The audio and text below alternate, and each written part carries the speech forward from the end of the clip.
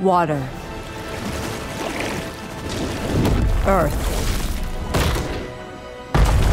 Fire. Air. For millennia, the four nations have lived in harmony. A peace made possible by the Avatar. The one person with the ability to master all four elements and protect the delicate balance between nations.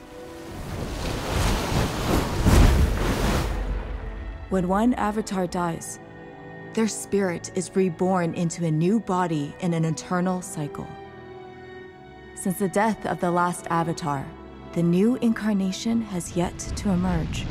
And so, Fire Lord Sozin, the ruthless leader of the Fire Nation, believes this is his moment to launch a merciless campaign to conquer the world. His first step is to eliminate the one person who could stand in his way. The next master of all four elements, an airbender, who may not be ready for the responsibility of becoming the Avatar.